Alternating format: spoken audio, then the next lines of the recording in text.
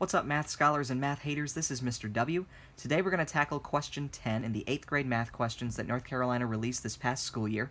We can see that we're just being asked to tell in which choice all three points, so every choice has three points, we're supposed to see in which answer choice they all go on the same straight line. To do a question like this, when you see it on a test, the easiest way to do a question like this is to graph your points. And you should have graph paper. Um, it'll be a little trouble to actually make the graph, but if you can get good at that under pressure, then you can do questions like this, no problem. So I'm actually going to do that, and I'm going to use a little bit of editing magic to um, bring up my graphing whiteboard. So this is the whiteboard that I'm going to use for my graphing. And I'm going to go ahead and just graph each set of points in one of my answer choices. So to start with, choice A, I have the point 0, 1. So essentially, that's just one up from the origin where these two lines meet, and that's right there. Probably shouldn't have written that in red. Let me use blue. So that's 0, 1.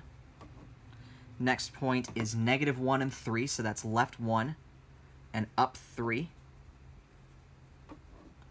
And next point is positive 1 and 3, so that's right 1 and up 3. So between this point, this point, and this point, which I had to write as a circle, that's not a straight line. So I know that choice A can't be my answer. The magic of editing will make this stuff disappear. And now we're ready for choice B. My three points are 4, 2, 2, 1, and 4, negative 2. So I'll start by graphing positive 4, positive 2, which puts me here. Positive 2, positive 1 puts me there. And now positive 4, negative 2 actually puts me here. I run into the same problem. My three points are not on the same straight line, so I know that choice B can't be it. Now I'm ready to test out choice C, where my points are 0, 0, so right here on the origin. 8, 0, so 1, 2, 3, 4, 5, 6, 7, 8, and 0, that's there. And then 0, 8, that means I go left or right 0 and up 8. 1, 2, 3, 4, 5, 6, 7, 8 and that's here. So point, point, and point, those are definitely not on the same straight line. For choice D, my th three points are 1, 2, 2, 4, and 4, 8. So let's go ahead and graph those. x of 1, y of 2 is right there.